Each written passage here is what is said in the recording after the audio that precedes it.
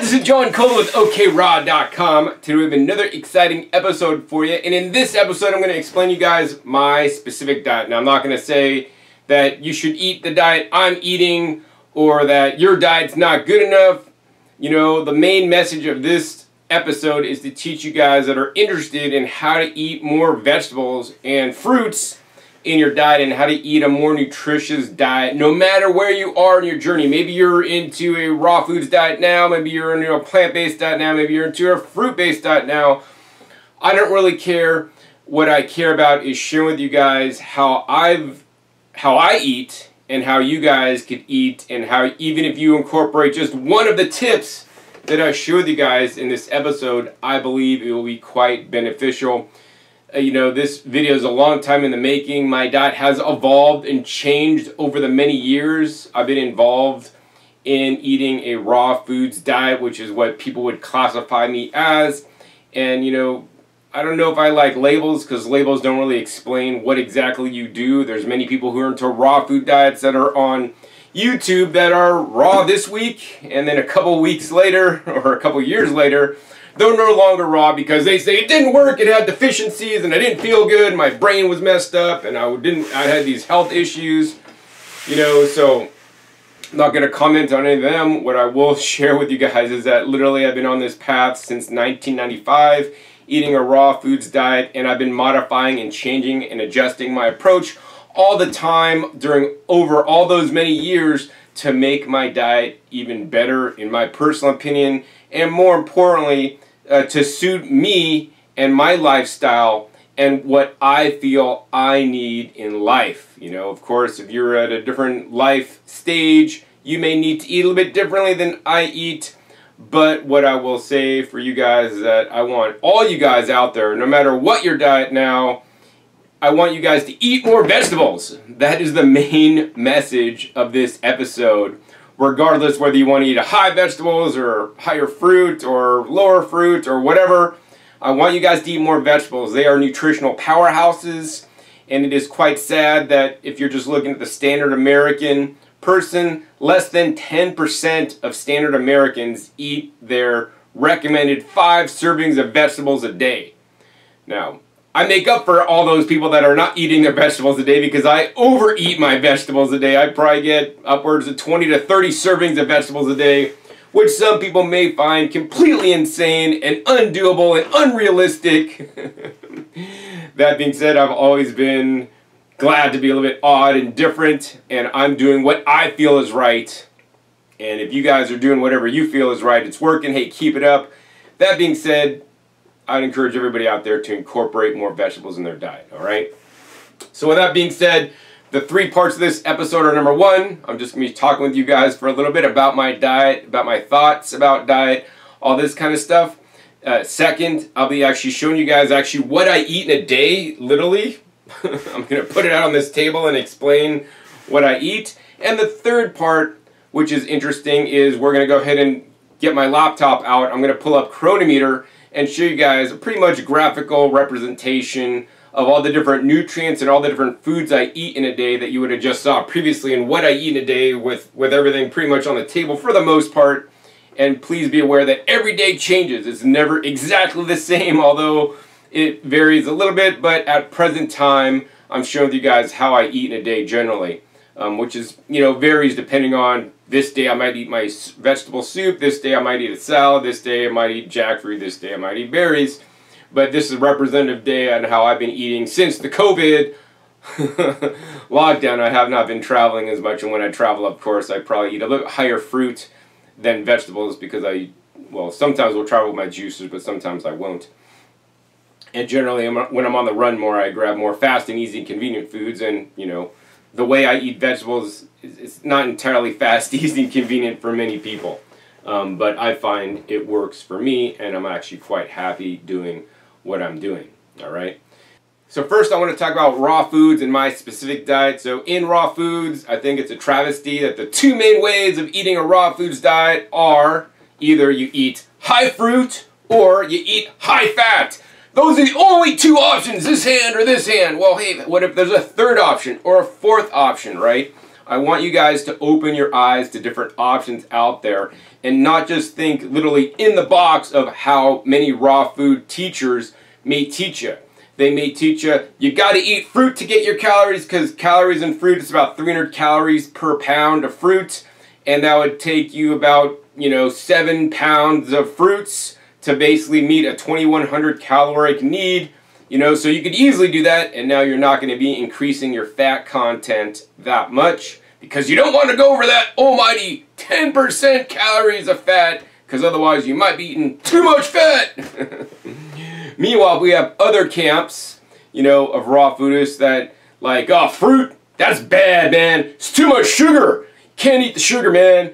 Causes cancer growth. Well, I'm not going to discuss that point, but here's the thing. You know, then they eat high fat, so then they could start putting on coconut oil and olive oil and eating lots of nuts and seeds with maybe a little bit of vegetables and maybe a little bit of berries, right? And then you could get all your calories that way because, you know, uh, oil, for example, is 120 calories per tablespoon. So literally, after about 20 tablespoons, maybe like, I don't know, 18, 15, 18 tablespoons of oil, that could be all the calories you need a day.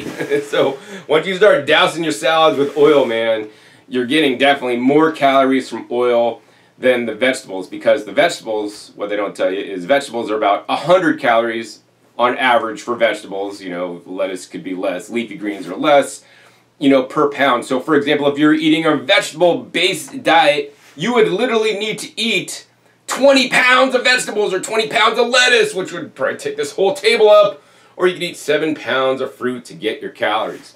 Now, we don't live in an absolute world, if you guys haven't noticed, everything's always give and take, pros and cons and most people hopefully they don't eat 7 pounds of only fruit or only 21 pounds of only vegetables or whatever amount of oil or fat or nuts and seeds you would eat. I want you guys to eat a balanced diet with the portions of, you know, uh, fruits, vegetables, and healthy fats, which I consider nuts and seeds, maybe some avocado and coconut, but not the oil. I do not consider that a healthy fat to eat to make up your caloric needs. And you know, dominant most raw foodists people out there that call themselves a raw foodist get their calories from fruit right and my personal opinion is that over the long run this is not the best or ideal diet for us to get the majority overwhelming majority of your calories from fruit so say you're eating only fruit and it's just a pure fruitarian who's only eating fruit with no vegetables. You know, that could work for a number of years. I've only ever met one person that really eats a significant quantity of fruit with actually very little vegetables in his diet who's I believe to be pretty healthy, although I haven't seen any kind of test results from him. Um, to prove that. But in general, high fruit diets, you know, they fail because you're not getting all your nutritional needs uh, met, you know. Um, and here's the other thing that I believe strongly in, that every different food on the entire planet, whether it's a leafy green, a vegetable, a stem vegetable, a fruit, or a nut, or a seed, they all contain different levels of phytonutrients, phytochemicals, micronutrients, trace minerals, all these different things. Foods are not just calories or carbohydrates, fats, and proteins, right? It is the micronutrients, these trace nutrients that are in the food that are so essential for our health. And let's not even forget, I've even talked about the beneficial fiber, both the soluble fiber and the insoluble fiber. The soluble fiber, if I had to choose a fiber that's more important, I would choose the soluble fiber because that's a fiber that literally feeds our microbiome, which is so critical for our health in this day and age. Of course, yeah, the insoluble fiber also important, so that actually you could kind of keep your, um, you know, stools regular and whatnot. So I like to incorporate all these different nutrients and my goal is to eat for phytonutrients, not eat for calories. That's a very important distinction between how I eat as a raw foodist and how most raw foodists eat. They're just worried about getting their calories because they need this many calories and whether it comes from bananas and dates or whether it comes from papayas and pineapples, and they don't really care because it's all about the calories. So, you know, I'm staunchly against simply eating for calories. I mean, you could pour white sugar on stuff. You could eat a Big Mac and get your calories. I mean, geez, they have these Big Macs, or I don't even know what kind of burgers they have these days, but they're like a thousand or two thousand calories in one meal. one meal. one supersized meal, right? Meanwhile, you know, I have to, I do eat a lot of produce to get all my calories in because while I do eat some fruit, and especially when I was younger, I ate a higher fruit diet, but now I'm finding as I get more mature, as I've learned more, I've learned really the power in the vegetables, and now my goal is to maximize my vegetables, get as many calories as I can in from vegetables, and then fill in with fruit for the excess you know, cal my excess caloric need that I did not meet with the vegetables. And you will see how this turns out in a little bit. So I want to let you guys know there are infinite possibilities and infinite ways to eat and structure your diet based around fruits, leafy greens, vegetables, stem vegetables, and fats. And that I want you guys to find the balance for you, depending on your age, your activity level, the nutrition that you're getting or not getting. You know, can be very important. I am strongly a believer in the value of variety. Eating a big variety of fruits and vegetables on a regular and everyday basis. So last night I had yellow dragon fruit. I don't eat that too much. A couple weeks ago I had the golden berries or poha berries and I had like the jackfruit two days ago. I had I usually have berries almost every day. Some days I don't. I had some red pears today, which I don't only get during the season, and actually they're actually decent for being store-bought organic red pears. I'm always striving to eat different foods. When foods are ripe in my garden, I'm eating seasonally. So I'm eating a lot of water spinach right now. I'm eating Malabar spinach, and most of you guys haven't even eaten those leafy green vegetables. In a few months, I'm not going to have those vegetables once it gets cold, but then I will have things like my Siberian kale and my dinosaur kale and my Apollo Napa cabbage and my different red lettuces.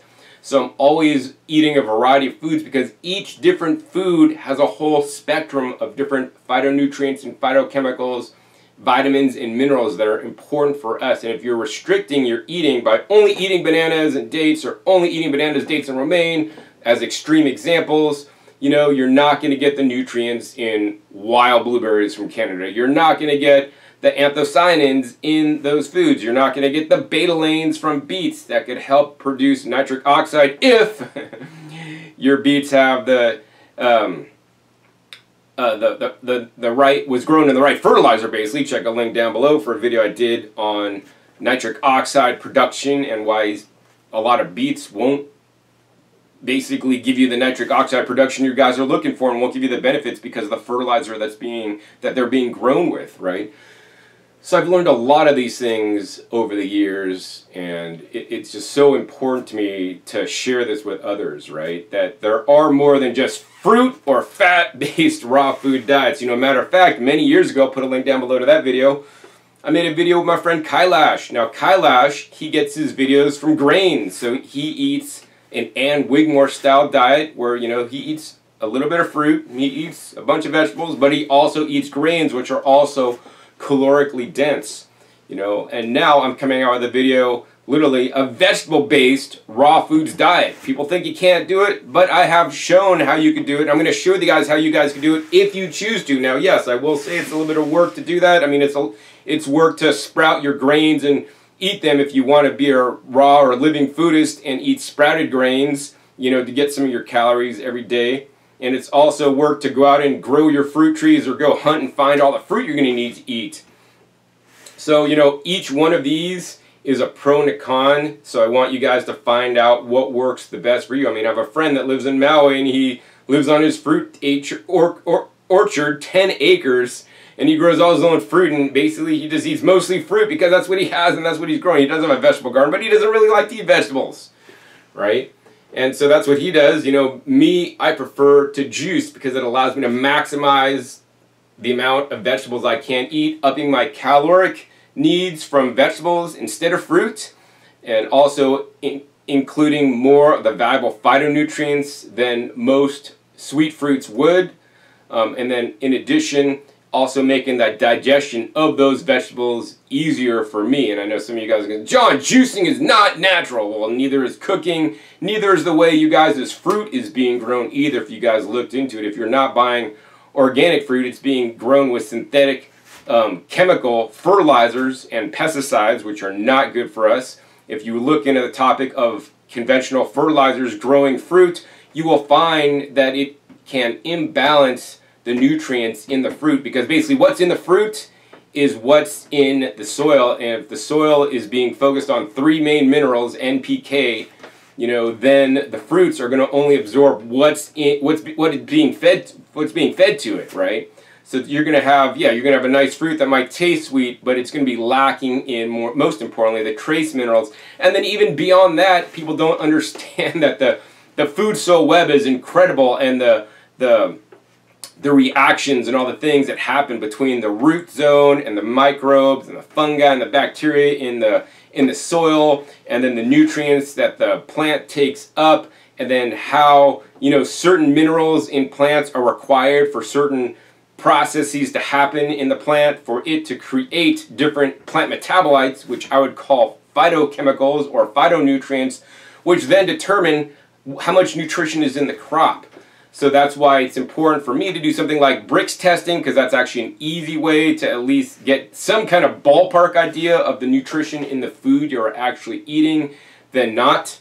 Um, and so for that reason, I grow my own food, which is also, you know, a good portion of my diet. Every day I'm eating something that I grew out of my garden, either in the juice form or in my daily salad meal.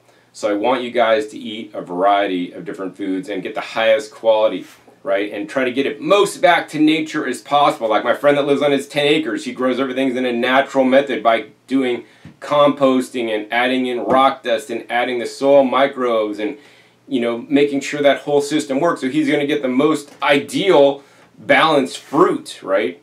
He also doesn't spray pesticides. Pesticides, spraying pesticides, number one, makes your food toxic in my opinion, but number two, it also discourages the plant to make its own natural pesticides.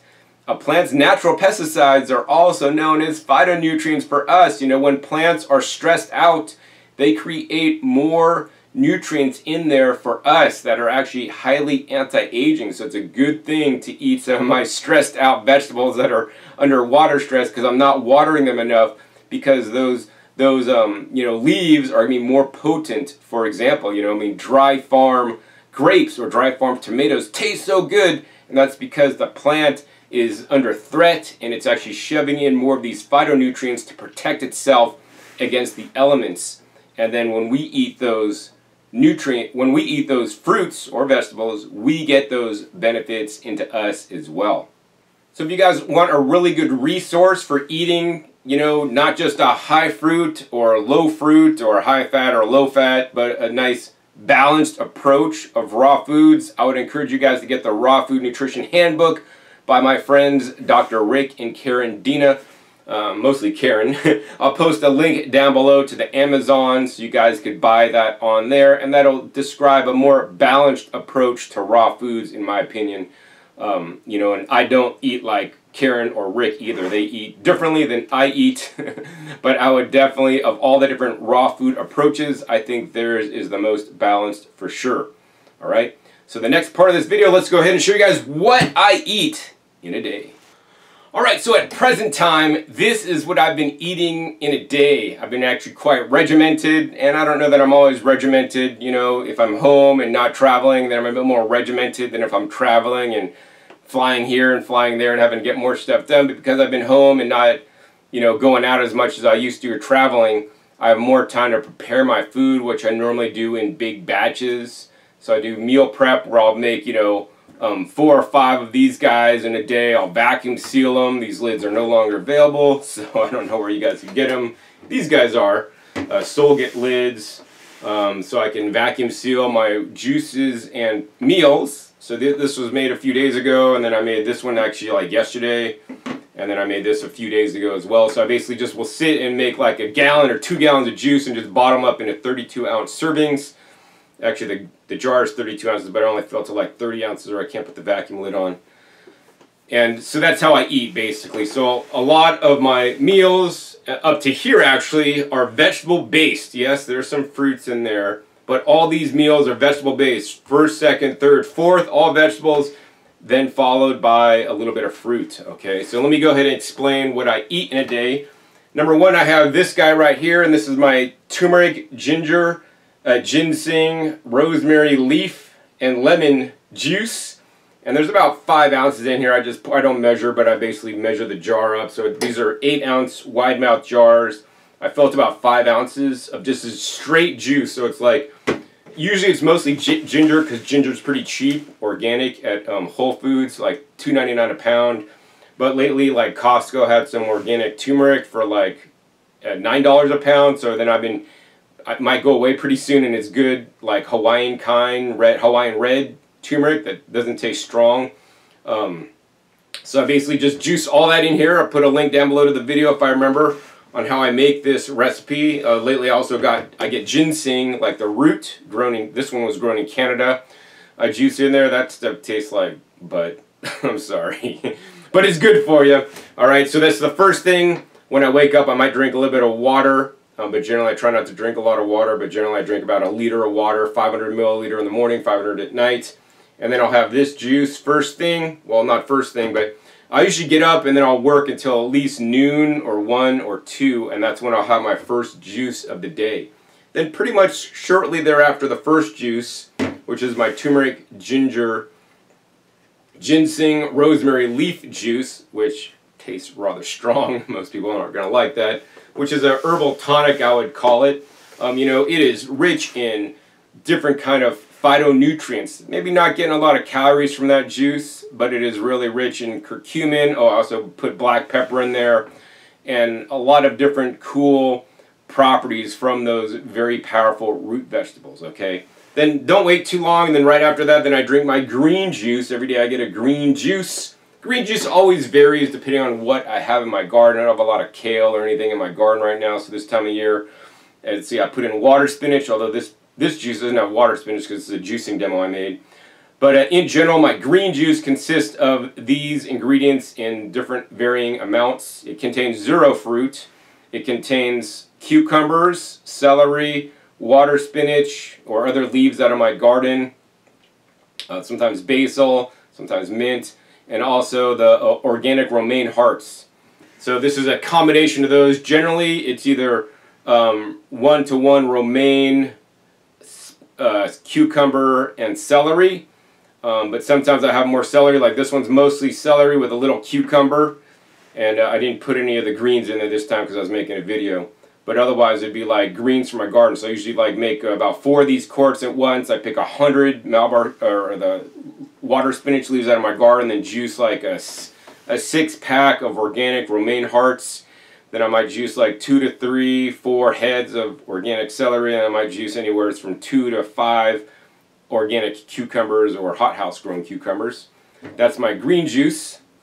And I want to let you guys know that basically the equivalent of juice, approximately, this is on average, you know, um, one cup of juice is one pound of vegetables. So literally in this jar, which is, I'll say it's 32 ounces, but it's probably a bit less, maybe 31, 30.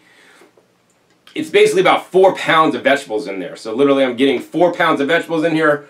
So four times 100 approximately, it's 400 calories, you know, literally in this one juice. Or you could eat like one pound of fruit, but I'm eating four pounds of vegetables instead in its juice form.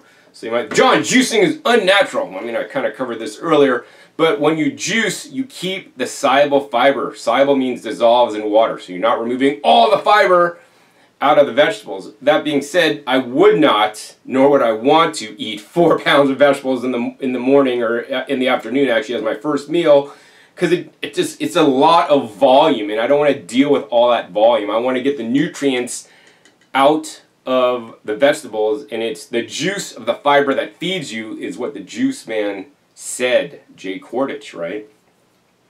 So literally I'm just getting all the phytonutrients, the vitamin, the majority of the phytonutrients, vitamins, and minerals out of the out of those vegetables into my juice that then I get to enjoy and drink in a simple format. Don't just chug this stuff down, guys. Take your time and drink it nice and slowly and leisurely, okay? The next juice I have is then my root juice. So I predominantly try to get this to have as many purple carrots as I possibly can. If I could buy purple carrots in endless supply easily, this would be mostly purple carrots with very few orange carrots. Unfortunately, I'm, it's not easy to purchase purple carrots. So this is predominantly orange carrots with some, as many purple carrots and yellow carrots and white carrots as I could find. In addition, I have beets in here that I juice. In addition, I have sometimes parsnips in here um, and or gobo root or burdock root. Sometimes horseradish root goes in here. Sometimes various, you know, root vegetables such as radishes. I think I made a dandelion root one time. Um, rutabaga is in here. Basically, any kinds of, oh, jicama always goes in here as well. Very excellent prebiotic food, you know, inexpensive as well. And then along with that, I might put in um, one lemon or lime, and then some apple and a pineapple for sweetness. Okay, but the majority is mostly, this is a carrot-based juice with other roots in there because carrots are relatively inexpensive. Approximately 60 cents organic a pound that I get, and if you're just not even worrying about organic, you get $6 for 25 pound bag of non-organic carrots, you know, here where I live. So this is a relatively inexpensive juice and you know my calories are coming from this because you know the root vegetables have more calories than like the leafy greens. And you know I have a video I made you know maybe a month or two ago post a link down below why I would rather drink carrot juice instead of eat bananas. And if you guys watch that video you'll clearly see that the, the carrot juice significantly more nutritious than simply eating bananas that being said I still eat bananas every now and then Okay, so this is where I'm actually up to today. I've had these three juices and I'm actually quite hungry right now. So after this video, I'm going to eat basically uh, probably this or a salad I already have pre-made. But generally, I make some kind of salad or vegetable-based meal. You know, it could be like this. This is my pepper-based soup. I'll post a link down below to my video on how I make the pepper-based soup, which is basically I juice a whole bunch of red peppers or ripe peppers, mini peppers, peppers out of my garden, whatever, or tomatoes. If I don't have a lot of peppers to juice, then I might blend them up instead in a vacuum blender. And that basically makes the sauce or the soup base, which is basically a liquid. To that liquid um, bell peppers, I might add in, you know, a little bit of miso, some nuts and some seeds, some taco seasoning, some seaweed powder, and other different various herbs and spices. Maybe some garlic goes in there, maybe some pomegranate um, raw vinegar, 100% pomegranates. Um, yeah, I mean, that's, that's the basics there. And then I basically cut up lots of vegetables, so included like shredded zucchini or shredded chayote squash. I have greens picked from my garden this time of year. I have lots of basil, so there's lots of basil in here. I might have some Malabar spinach in here. I might have some um, water spinach in here. In addition, I put in some mushrooms that have been heat processed by me, in addition to mushroom powder in the, uh, the soup base itself, I chop up like a red onion. So there's greens. I also put some soaked seaweed in there that's with the salt removed and some chopped um, living food olives that have probiotics in there. So I mean, I think that's the base. Um, sometimes some cut up avocados in there. Once again, link is down below to see how I make this exact soup. Although sometimes I might have a salad. So the other day I made a salad with like organic um, but butter lettuce with uh, spinach, and then I put in like uh, avocados, some kimchi, and some fermented black beans that I fermented myself. Every day is a little bit different depending on what I'm eating, but I really like this soup because it allows me to really ramp up the amount of peppers I'm eating, which are one of the most important vitamin C rich foods. After I eat this, then the next thing I do in the day is I'll eat a fruit meal. So lately, because I have so many of them, um, I, I've been eating berries, so generally I'll eat like three to four of these little packages, which are about six ounces each of berries. Just wash them and eat them plain and straight. Um, and yeah, berries are really rich in nutrients, especially the blackberries, even more rich in anthocyanins than the blueberries. Um, and sometimes I don't have berries. Sometimes I'll just eat more something like mangoes. The other day I had berries, and then I had some mangoes too to fill in because I was still kind of hungry after the after the blueberries. And then sometimes for dessert I might make some frozen banana sorbet by basically putting some frozen bananas through my pure juicer, which is like a champion juicer that basically mushes it all up. And then I'll put in, always when I do the banana ice cream, I just don't eat straight bananas generally. I always put in some wild blueberries to kick up my anthocyanin compound content. So this is how I generally have been eating. And once again, every recipe varies a little bit depending on what I could get, what I don't get. Sometimes it's more ginger, sometimes it's more turmeric. Sometimes this juice is mostly cucumber based with less of the other ingredients uh, because cucumbers were on sale that week or I got, you know, a better deal on the celery and the cucumbers were expensive. So now that week I'm using more celery. And then sometimes I just get, I'll do straight romaine juice sometimes because like, man, I love straight romaine, heart juice if I can't get like good cucumbers or celery. The root juice, always pretty much a carrot base with various other roots in there. And then my vegetable meal always changes. You know, I, I make this recipe a lot. I basically make a wild rice, which is bloom wild rice dish. Um, and then I make salads. And then I could have a fruit meal, which could vary. I also I ate jackfruit the other day. I had you know, the yellow dragon fruit the other day. I got a bunch of pears, and actually when I was um, drinking this juice, or before I drank this juice, I was cutting up pears to dry, so I was eating a little bit of the pears before I drank this. It's always a little bit different, but as you guys can see, I mean, most of what I'm eating is on this side. It's mostly vegetables, and I'm literally concentrating them. So once again, four pounds of vegetables, four pounds of vegetables, eight pounds of vegetables, and maybe another, I don't know, that's not quite a pound of vegetables, maybe another half pound of vegetables right there. And then I weighed these out. This is about like one pound, 12 ounces of vegetables. So I mean, what do we got? We got like basically about 10 pounds of vegetables right here. So that's, you know, roughly, if you just want to do rough math, you know, it's about a, a thousand calories, maybe a bit more. Well, this actually has some nuts and seeds in there too, so that kind of jacks up the calorie content. And then the rest I get from my fruit. So I, I think this is perfectly pretty healthy, but especially after putting my numbers in the Cronometer, I generally do not track what I'm eating. And I'll be honest with you guys, after drinking this much juice and having this many vegetables, I'm really not that hungry for fruit. So sometimes eating a fruit meal, it's like, man, I got to get in my fruit today. I'm missing it, man. I got to eat it. And then I'm almost like, might be even overeating a little bit because I've already eaten so many vegetables, right?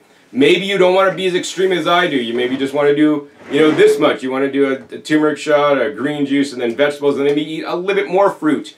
That's all right. I want you guys to find the balance that works for you. I will tell you guys, you know, I spend, you know, countless hours juicing like every week. I'll do like a session of one or two hours every few days to kind of like make a stock of these juices, a stock of these juices. I have this juice for tomorrow, then I'm out, then I gotta make my green juice again in two days from now. I think I have like two more of these to drink in the fridge, and I'm luckily out of these because I want to make a new recipe because I'm getting tired of eating my soup, uh, you know, on a on a daily basis that I have been. And then fruits, depending on what's in season. The other day I got some peaches from the local farm that are actually quite good, so I ate the local peaches because they were going ripe. So here's my main eating plan, and depending on what I'm getting is all dependent on the juices I'm getting, right? So my eating, my goal is to eat, number one, go to my garden to pick out the foods out of my garden to eat that first. Those are the most nutritious foods that I grew myself. Some foods money cannot buy, like special varieties of greens that they just don't sell, that have different phytonutrients. You know, I grow most, I grow mostly purple basil, you know, instead of just standard green basil. And basil is not a good thing to buy at the store anyways, because it wilts fast unless you're buying the whole fresh plant, but then they're super expensive. My next goal is to eat local. So then I'll go out to local farms. The farmers markets here kind of sucks. I'll go out to farms and buy produce fresh from other farms, eat that. And then beyond that, then I'll go to stores to buy organic produce. Uh, my favorite of which is Costco and Sam's Club, where I can get organic carrots for about 60 cents a pound. I also get the organic romaine hearts at Costco. It was $3.99 for six of them. Suckers raised the price to $4.99 for six of them, so it's not quite as good of a deal, but it's still decent. And then I'll just go to Sprouts and Whole Foods and even the dollar store to fill in, um, you know, to find the produce I need to get my juices made. And then depending, and then I'll just, you know, buy peppers, you know, because I got to make my pepper soup if I'm going to make that. Um, and then, yeah, and then I just uh, fill in with maybe going to some Asian markets to get some non-organic food to fill in to make my diet more interesting because not everything is available organic. So for example, jackfruit I'll buy non-organic because if I was waiting for organic jackfruit, unless I fly to Hawaii or my friends in Florida, I wouldn't be eating jackfruit. All my berries always are organic. So I would say actually how I eat, I would call it opportunistically, you know.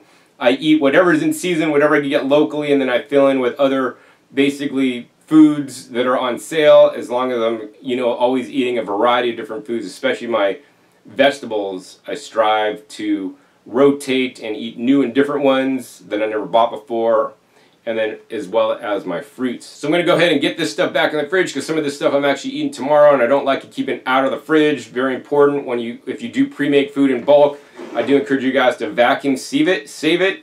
So pull out the extra oxygen so the the new the phytonutrients, especially the antioxidants, will not oxidize. Um, these vacuum lids are no longer available, but you guys can get these Soul Git lids. I also have some videos post down below on how you guys could vacuum seal your juices uh, using a vacuum blender or just using a standard mason jar food saver adapter with a pump that's like five bucks so literally you could be vacuum saving your meals for like 15 bucks you know at the most um, or you know this kit I think is about 20 bucks to get these special tops but these tops don't pull as much vacuum on them as I would like alright so the last part of this episode I actually want to go over the the nutrients or the common nutrients that are characterized through something like Cronometer. I don't generally do Cronometer or FitDay to track what I'm eating because I have done this for so long. You know, um, and I guess another question you guys might have, what time do you eat, John? Well, I eat when I'm hungry. So like that's the most important thing to me is like respect my body and give it what it needs when I want it, not at specified times. Oh, it's noon. I gotta eat lunch. Like I don't even start eating any food until about noon or one or sometimes two if I'm like busy working. I'm not like, oh, it's noon. I gotta eat. But if I'm if I wake up and around noon I'm hungry, then it's like, I'm waiting for my my first juice of the day around noon. And then sometimes I gotta make my juice before I can even drink it. So then that comes into play as well if I don't have everything pre-made like I do um, for tomorrow, for example. So I know some of you guys are thinking, John, how could you possibly get all the nutrients you need from your vegetables, man? You don't have any grains, you don't have any milk, you don't have any meat in there, right? Well, amazingly enough, the vegetables are really rich in nutrients as well as calories if you eat enough of them. And you know, think about if you are eating animals, where does the animal get its protein from, right? The animal gets its protein from the vegetables it eats, right? I prefer to eat the vegetables in quantities that animals would eat so I could get the nutrients I need from the vegetables as well as some fruits and other limited foods depending on when I eat them. You know, majority of what I eat is vegetables. I then eat some fruits. I will also eat some mushrooms, eat some certain select grains such as, you know, buckwheat, some oatmeal sometimes. And this is all, you know, raw, uncooked. I also do heat process things like mushrooms. I will heat process beans and then lactic acid ferment them so now they are a living food.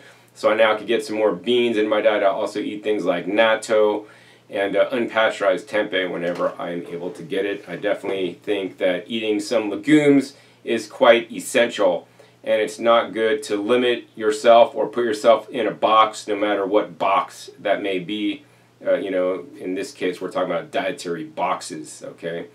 So uh, anyways, uh, without further ado, let's go ahead and look into my Cronometer and kind of go over what I'm eating and I'll explain more about it. I think we're just going to go ahead and do a close-up of the screen. It's, all right, so looking at the Cronometer here, um, I basically entered in roughly all the different foods I'm eating um, in a day and their whole amount. So for example, on Cronometer, you know, they might have carrot juice, but they're not going to have my ginger, turmeric, ginseng, rosemary leaf shots. If you look up some kind of shots, ginger, turmeric shots on Cronometer, they always have orange juice or added water. And that's because manufacturers, when they're making them, it's a lot cheaper to add orange juice or water, whereas I'm drinking it straight. Um, likewise, you know, my specific juices, you know, if it's celery juice, you could find that in Cronometer, but my specific juices with all the different mixture of greens and celery and cucumbers and even water spinach, it's there's no listing for juice in there. So instead what I'm doing, I'm putting the approximate amount of vegetables I'm using um, in to make the juice and figuring, you know, Best case scenario, I'm getting all the nutrients out when I juice it. That being said, I don't believe that to be entirely accurate. I believe I'm getting approximately 80%, 75 to 80%, potentially as high as 90% depending on the vegetable I'm juicing. of the nutrition and the calories out of it. So this will not be entirely accurate. The calories may be off by, you know, 20%, for example. Um, but in general, uh, we're going to go down this list so you guys can see my ginger root raw, 8 ounces of fresh uh, ginger root. Uh, when you juice it, uh, turns in turns out to be about a half cup of juice or about 4 ounces. They had no fresh turmeric in there, so I just put 2 ounces of ground turmeric. And then I put like you know, one eighth of a medium or a, a certain wedge of a lemon, because that's kind of what in there, and I forgot to put the rosemary. So you can see already just in my first shot of the day, approximate calories are, I don't know, maybe, I don't know, this seems a little bit high to me, maybe like 200 calories in that little juice, because the ginger, you know, pretty calorically dense there. Next, so uh, the next couple items, including the cucumbers with peel, 16 ounces or one pound of cucumbers. That will equal about one cup of juice. As you saw, my juices are about four cups total. To make another cup of juice, two cups of juice, that's about uh, 16 ounces of romaine. An another uh, cup of juice, that's two cups. And then we have uh, celery raw, 32 ounces. That's about another almost two cups approximately. And then eight ounces of water spinach which is fairly realistic on the um, amount of uh, greens in my green juice. And these are all examples, for example. And you can see this juice already is like, uh, what is it? 150, uh, 200, maybe three, another 300 calories of juice, maybe 400 calories somewhere. Then we go to the carrots, and this is actually where a good amount of calories are coming from. I mean, two pounds of Carrots are 371 calories. If you just ate the carrots, that being said, I'm juicing them, so the calories probably aren't going to be that high because I'm like giving some up with the fiber, but I'm getting most of the nutrition out of them.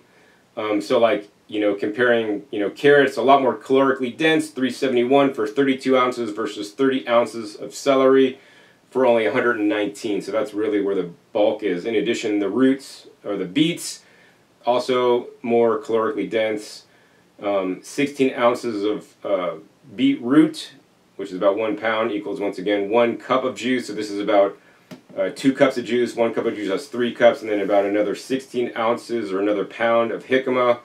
And then I'll basically top it off at about uh, four pounds of produce. And you guys can see in this juice, literally just between the carrots, beets, and jicama, 300 plus 200 is 500, 600, 700 calories. I don't know if I completely agree with that. but it's definitely calorically dense. And then of course I put a little bit of pineapple in there, and I do my juices in batches, so these are just you know rough numbers. Because I put one pineapple when I make like a gallon or two gallons of juice, and then so then maybe in one juice there's a little bit of pineapple in there, so that's like why it's only two slices, and then one apple because I put like a number of apples in my juice as well. So then that's like uh, the juice. And once again, these will not be completely accurate to what they are up to this point, you know, because all this is juiced and the calorie counts will not be completely accurate because I may be only getting 70 to 80% of the calories that are in there, although I, I believe I'm getting the majority of the nutrition. The next set of ingredients are some of the ingredients that go in my soup every day. I make the soup.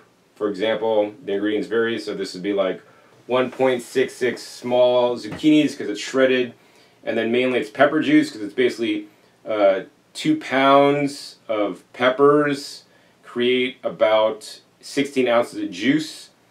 And then I have some Malabar spinach from my garden, a little bit of miso in with the dressing, Brazil nuts for my selenium, blended up with the pepper juice, along with the flax in there for the omega-3s, blended up and then also has a little bit of taco seasoning in there.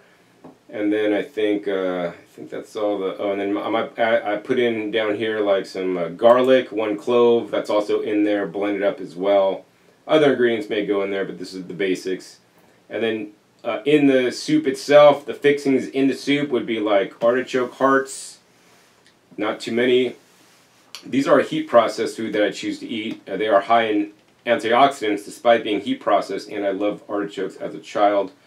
And then uh, yellow corn frozen. I, I get organic um, from Costco or Trader Joe's usually, and then I get organic peas frozen, and just a little bit goes into my soup just to kind of give it some texture, and especially on the to give me some more nutrient variety, especially the peas, which is a legume technically, and the corn, you know, also adds a little bit of calories in there, but also a nice uh, flavor in there. I do take some mushrooms that I then um, will heat process myself. 15 minutes in my pressure cooker is good enough. And then I basically just put them in my soup. In addition, I put a little bit of seaweed salad in there, uh, mixed seaweeds every day. It's a bit different. I think I put nori in this last batch. In addition, I might put, you know, a bunch of uh, natto in there when I make the big batch, so maybe just uh, one ounce total. And then uh, watermelon seeds get blended up into the dressing, uh, so I have some healthy fats along with the flax seeds and the Brazil nuts. Of course, this also changes. Sometimes I'll use macadamia nuts. Very, not too often I'll use cashews. I also use pistachios. I use a lot of black walnuts lately and uh, whatever kind of nuts and seeds I have on uh, at the time. So you know my seeds aren't always the exact same. Neither are the ingredients. Sometimes I don't have the artichoke hearts. I might put a little bit more corn. I might put more greens out of my garden. I might shred up some cucumber, shred up some chayote squash if I don't have the you know zucchini to make. But this is my general recipe. But once again, check the link down below for my recipe on my soup I make. And then I might cut up a little avocado Put it in there as well for some nice texture and some nice added fat. And then chop up uh, onion as well. Goes in the, the soup um, fixings as well as the basil. Alright, moving down, uh, maybe after I have my soup, I wait a couple hours. When I get hungry again, then I'll have some fruit for the day. I try to do berries whenever possible, although sometimes I just don't feel like eating berries. I prefer blackberries, although I will eat any kind of berries I can get my hands on. Uh, once again, I find what's on sale and what's organic. Right now I have blackberries. I had some raspberries a couple weeks ago. I also got blueberries, which I'm not a big fan of, although they do store longer than blackberries, which is nice. I might eat something like uh, the Cape gooseberries, or also known as poha berries or golden berries sometimes. Um, could also eat strawberries, for example, and I'll usually have about a pound of those. Contributes about 195 calories. And then I'll have, a, and then after I eat my fruit meal, if I'm still hungry before I go to bed, then I might have a little bit of dessert. And then um, I have some frozen bananas, two bananas or so, basically put through my uh, juicer with a blank plate to process into frozen sorbet. I'll put one banana in, then I'll put a whole bunch of wild blueberries, and then I'll put the last banana in, um, you know, that I'll basically give my banana ice cream some um, you know, phytonutrients, purple phytonutrients from the wild blueberries, which don't add a lot of calories, as you guys could see, but, um, you know, have the anthocyanins that are quite important. All right, moving on down, if we look at my calorie uh, summary here, looks like it came out as 3208. Um, I do not believe this to be entirely accurate because a lot of the produce is being juiced. So I definitely will lose maybe 20% of those calories right off the top maybe even more. Um, and then uh, the calories burned according to my weight and size and activity level, I need 2288 a day. And then this leaves me with a 921 surplus. That's if this calorie figure is accurate, which I believe it not to be because I'm pretty much maintaining my weight.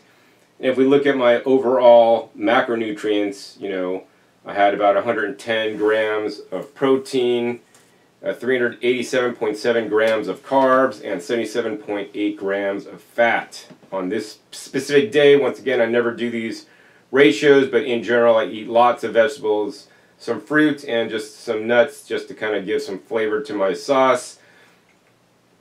And for those of you guys that are interested, because I know 80-10-10 is very popular, we can go to this little chart here. This is my overall macronutrient ratio based around 387.7 uh, carbs that's 67.4%. And then uh, protein is 110.1 or 19.1%. And then my fat is 77.8, which is 13.5% on my ratio. So some people want to eat 80, 10, 10. You know, I personally think that maybe upping your protein a little bit is important and 10% fat might be a bit low for me. You know, I like to have a range anywhere between 10 to 20% fat, like max. I feel best around 15 uh, due to COVID, I've been eating actually a bit lower fat these days. So if you guys are interested in my overall percentages, that's what I'm eating on this day, and every day it changes a little bit. Let's go back to Cronometer and take a look. And this is the most important part, highlighted nutrients. Look at this. Most Americans do not eat enough fiber. I ate 538% of my fiber. I get 947% of my iron. Like, this is insane. I'm getting significantly more iron than a meat eater would. it's probably getting absorbed better and it's not causing oxidative damage. You know, when you're eating heme iron, right, you could accumulate too much iron in your blood cells and in your in your body, which is, could cause oxidation. That's why, like, if your car gets scratched and you live near the ocean, it's going to rust. You know, luckily the iron uh, from plants are non-heme iron, so your body selectively absorbs it if it needs. I'm providing the iron my body needs if it wants to absorb it, and if not, it goes down the toilet bowl. Once again, calcium. I don't drink milk, but yet I have 221% of my calcium. These numbers are completely insane. You would not want to compare me to an average standard American diet eater because this will put them to shame.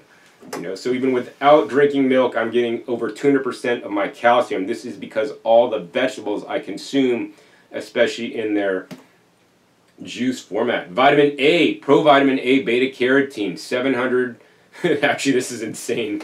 7,407%. Vitamin A is a very critical nutrient. Once again, I'm not eating preformed vitamin A. This is vitamin A in the form of beta carotene that my body should convert if I don't have any genetic dispositions or mutations um, causing me not to convert my provitamin A beta carotene into the vitamin A and from a recent blood test, it looks like I'm converting fine. And once again, if I have excess of the beta carotene, my body could store it in my skin, and that's why I might look a little bit more yellow or orange than others because of all the nutrients and carotenoids I eat. Which actually, in studies, they show you can actually be more attractive to the opposite sex because you actually have some color in you. People might want to call this the raw glow, but that's just the carotenoids and the pigments that you're eating that's getting stored in your skin that gives you sun protection from the inside. I do not slather on sunscreens pretty much at all, maybe on a rare occasion I do, but I, I cover up with clothes and I have natural sun protection from the foods I eat. Vitamin C, look at this. 2,044% of my vitamin e, C needs Vitamin C is a critical nutrient to prevent oxidative damage. It is completely water soluble. If you do not use it, you pee it out. And on this nutrient, you know, there's always nutrients that we need that there's too much could be bad, too little could be bad, and we really want to just hit all our nutritional needs just right. But in water soluble nutrients anyways, in their whole plant form in a non-supplement manner, I'd rather do a little bit too much than not enough and I'm not even sure that the US RDA needs of vitamin C is accurate for optimal or ideal health. Once again, vitamin C is a very important nutrient, especially for immunity in this day and age. Vitamin B12, right? I do supplement vitamin B12. You can see clearly my diet is not giving me enough B12, and that's actually if this is actually an even active form of B12. I surmise that the B12 I am getting is from something like the seaweeds that they claim to have B12, which may be analogs, which may not entirely be accurate. I do, in addition, take a B12 supplement, although there are also foods I eat that contain B12, and that's for another episode. I did not eat any of those foods in any large quantities uh, on this day, other than maybe potentially vegetables picked out of my garden that have the beneficial microbes on them, but that's a different topic but I do supplement nonetheless. Folate, 572% of my folate needs um, through my diet. This is because folate is in foliage or leafy greens and vegetables. Um, so going plenty of folate, and this is very important to prevent neural tube defects if you're a pregnant woman. And I do not encourage you guys to take the folic acid, which is a man-made folate. I encourage you guys to eat your foods to get your folate. Easiest way to do that is through juicing. Juicing allows me to compress lots of vegetables into one juice where it's literally packed powerhouse of nutrition. Potassium, another very essential nutrient, 555% of my potassium. Um, because my potassium level is so high, we want to have a sodium-potassium balance. You know, I will sometimes crave a little more salt or sodium. I don't like to eat salt, so I will have some miso that contains some salt and or some sea vegetables that might contain some sodium in there, as well as my other foods. You know, the celery, for example, has plenty of sodium to balance out my potassium, and if you're not eating added salt and you're eating a healthy plant-based diet, your sodium-potassium value should fall into place. All right, so you guys can see um, this is based on my targets, my percentages here. Um, you know, so we don't want to necessarily look at the percentage based on my targets, but you can see my water percentage is 156%.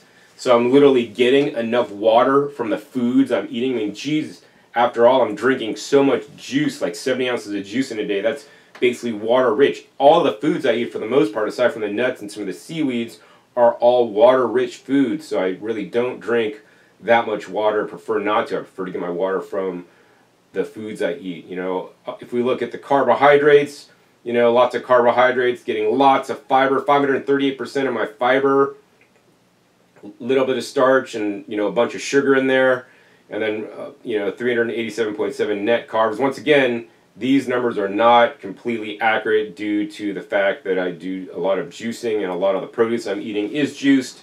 So this is not going to be totally accurate, but it's actually at least a good guideline. The fat percentage, you know, uh, 77.8 over here. And the, the fat um, have a nice balance of monounsaturated to polyunsaturated and important for me are the my omega-3 to 6 balance. As you guys can see, I got uh, 4.8 grams of omega-3s to 18.5 grams of omega-6. So you want to have a good balance of these guys. I basically have 300% of my, my omega-3s and 109% of my omega-6.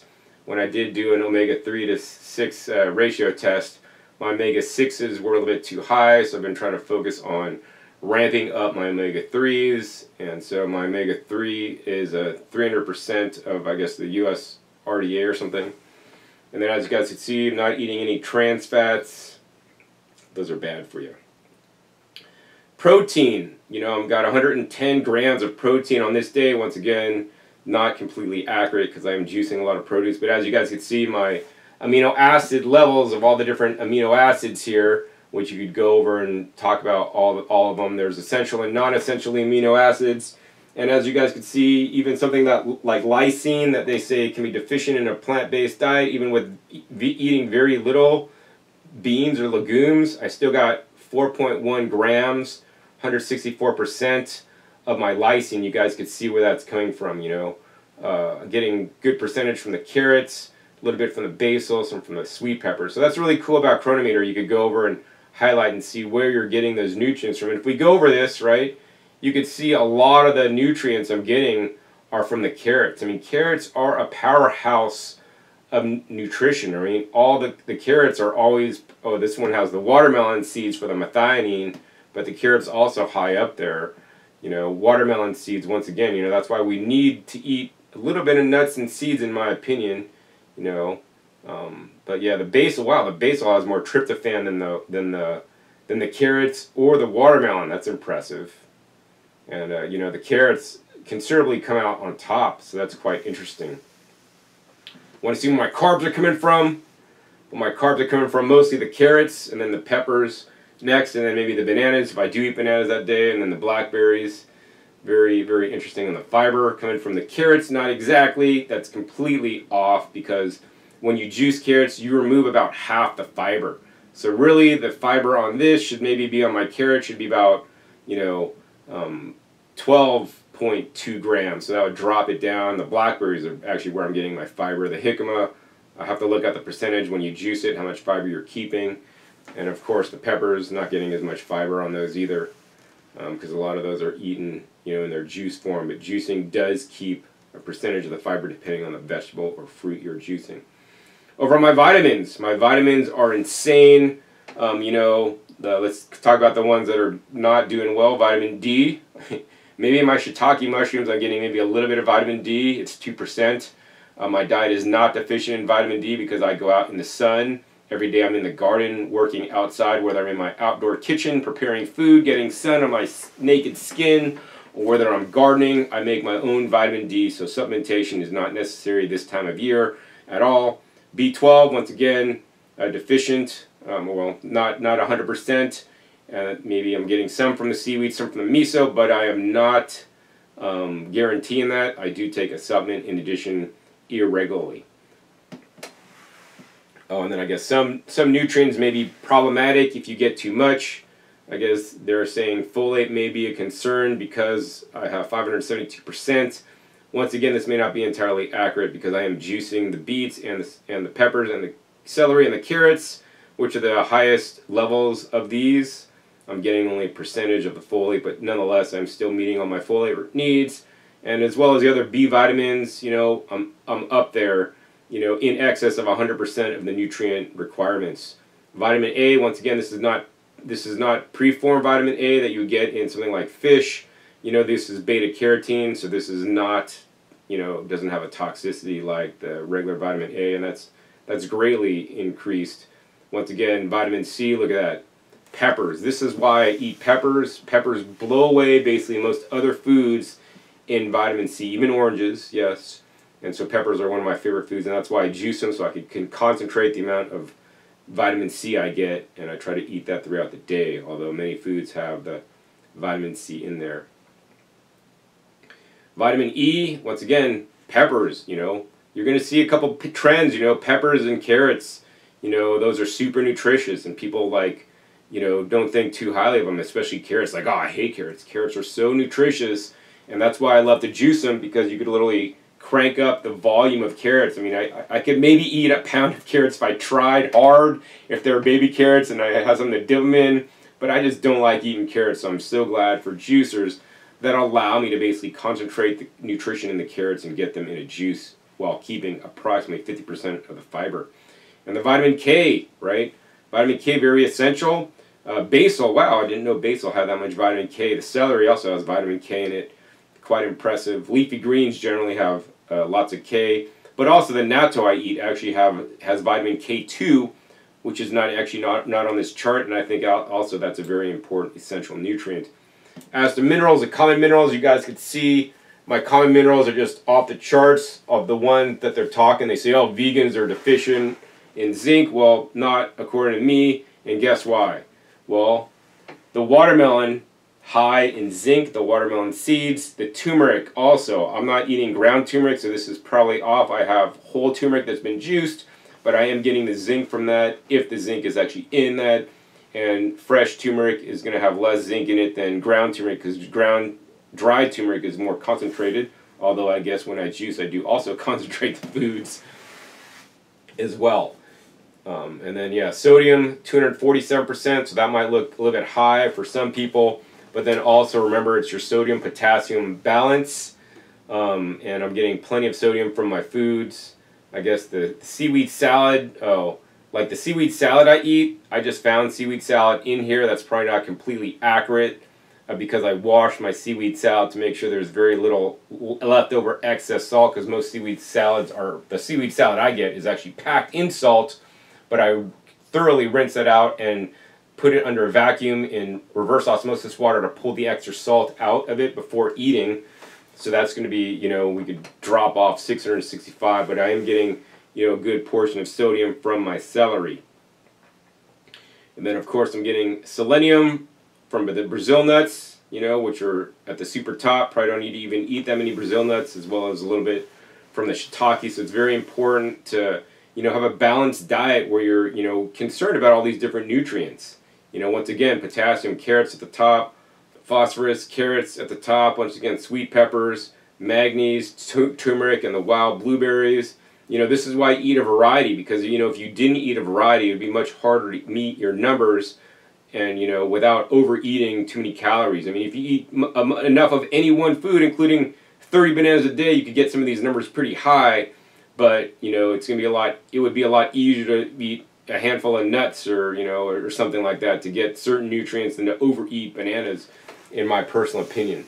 So yeah the calcium wow a lot of the calcium is coming from the basil.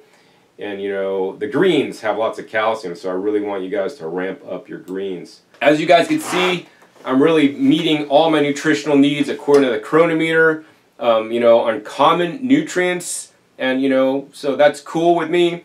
But what is not cool for me is that most people are not aware of, the uncommon nutrients or the trace elements or micronutrients, right? These are the things like the minerals that are not included on this chart, right? Um, there's so many other minerals, uh, you know, that are not on the chart. You know, periodic element table of the elements. You know, there's all these elements, and where do you get your platinum from? You know, do you even eat platinum? I mean, they have platinum-based chemotherapy. I take a lettuce powder that is supplemented with platinum in it. Not very, very rarely actually.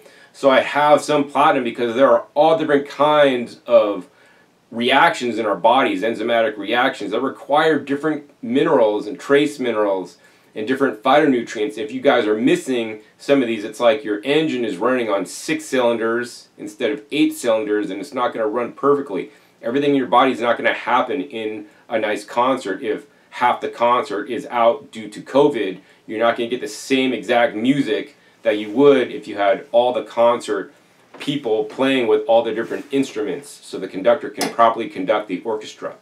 So, you know, that's why I strive to have a variety of foods. And once again, this is one single day. Every day is different. You know, some days I might do standard blueberries instead of wild blueberries. Some days I'll do tart cherries, you know, in my banana sorbet. Some days I won't even use banana. I might just use berries or I might make a smoothie and I have all these different green powders that I'll include sometimes to kick up some of the different phytonutrients and trace minerals that may not be accounted for. You know, I'm really into the purple foods. And so in the end of this video, I want to want to let you guys know that it is possible to eat a vegetable-based raw foods diet or even raw uh, vegetable-based plant-based diet. The main way I like to do that is through juicing, right? Juicing allows me to concentrate the amount of vegetables that I would eat, to, eat more than I normally would. Now, some people may consider this, you know, um, not natural, um, you know, I would say that eating all this fruit is totally not natural. While we are designed to process and eat fruit, you know, I do not think that even even our closest relatives, the bonobo monkeys out there, don't eat entirely fruit. They eat plenty of leaves as well. So I think to have a properly balanced diet, you guys each need to find the appropriate amount of vegetables, to eat compared to fruit, compared to a little bit of fat that I think most people would agree on unless you're into a high fat raw food diet, into like gourmet stuff. You know, I think most people will not disagree that including more vegetables is generally always going to be a good thing unless you have some kind of allergies to vegetables. Then I would encourage you to find the vegetables you need to eat. I know some people might say, John, it's better to cook vegetables than to eat them raw. And, you know, in some cases, like with carrots or tomatoes, they say that you may get a greater uptake. But as you guys can see, my up I don't need to worry about my uptake of certain nutrients because I'm eating such a quantity of these foods anyways.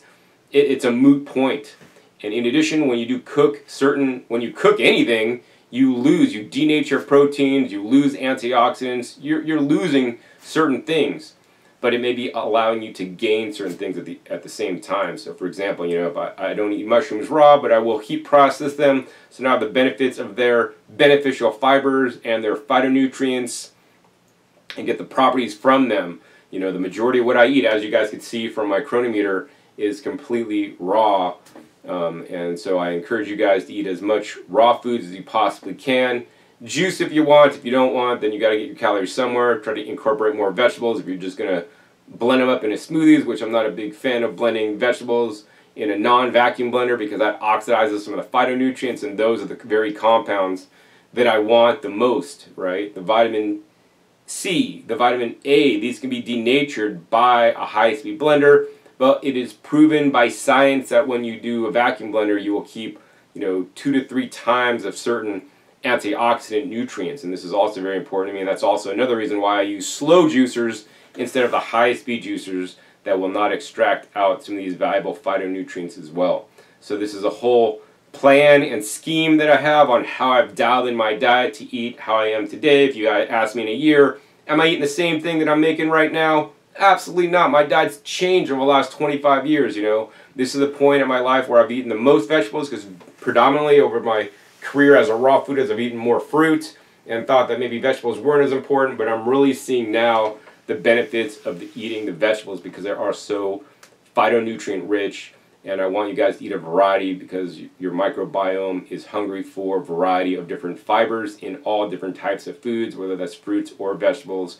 even things like mushroom. I even eat kombucha scobies, which are rich in fiber as well. So eat more fiber, eat more phytonutrients, get a variety, eat more vegetables is how I'd like to sum this up. Hopefully you guys learned a little bit from this episode and hopefully after watching this episode you guys are just going to start eating a few more vegetables. If you want to get a juicer to juice them, please be sure to check out my other YouTube channel, uh, Raw Foods, or uh, visit my website, Discount Juicers, where I do sell juicers for a living. I also sell vacuum blenders. I have a wealth of knowledge in many different videos on how to use some of these appliances so you guys can maximize the nutrients that you're getting into you and live sustainably and more importantly healthfully on a raw foods diet so that you guys don't have to make a video I'm no longer raw and now you're eating meat because I think I find that quite sad and I personally believe that to be a cop out because you're just following the wrong raw food path. You know, I think I'm probably the only guy. Let me know if there's other guys online or girls that are eating a vegetable based raw food diet. It's actually extremely rare. I mean, I kind of take vegetables to the extreme might be better to let me back off some vegetables and eat some more fruits, but I feel good the way I'm eating and I wouldn't want to change at this point, although I might change in the future. So always be open to change and I encourage you to get blood tests and make sure that what you're doing is working for you and that you feel great and that your blood tests prove it. And if not, then make adjustments and change instead of, you know, not getting blood tests for years, then all of a sudden you crash and burn because you've been eating a insufficient raw food diet and not getting enough variety and not eating enough vegetables which and or eating too much fat, which could be some of the downfalls on a raw foods diet among the many others, all right? So if you guys enjoyed this episode, hey, please be sure to give this video a thumbs up. Also, please be sure to share this with others on a raw foods diet that might be eating too much fruit. Maybe that it'll get them to eat a few more extra vegetables. I think that could only be a good thing in my opinion, although I don't encourage anybody to go entirely vegetable based or, you know, find the right balance for you in the end. Also, be sure to click that subscribe button right down below so you don't miss out on my new upcoming episodes that come out every 5 to 7 days. You never know where I'll show up or what you'll be learning on my YouTube channel. I think I have a video coming up on how I make my coconut yogurt, which I didn't have any coconuts in this episode. I eat, or on this day, but I eat coke, I drink maybe some coconut kefir sometimes, and I have some coconut yogurt maybe once every week or something like that. Keep things fun, get some probiotics in me, and uh, keep my diet mixed up with different foods coming in. Also make sure you click the little bell so you get notified as my new videos come out. And finally be sure to check my past episodes. My past episodes are wealth of knowledge. Over 500 episodes at this time on this YouTube channel dedicated to teaching guys how to eat a healthy raw foods diet. Um, you know, I have many interviews with many long-standing raw foodists with some excellent information so that you could dial in your diet to eat it the healthiest way possible, which unfortunately, in my opinion, not many people on YouTube uh, that are raw foodists do. They they are more tight cast into their specific cliques or groups, and I try to get along with everybody and take the knowledge I need from each person and incorporate that into my own and find out what works for me by trial and error, by checking blood tests and checking in with my body and seeing how I feel. So with that, my name is John Kohler with OKRaw.com. We'll see you next time, and until then, remember, keep eating your fresh fruits and vegetables. They're always the best.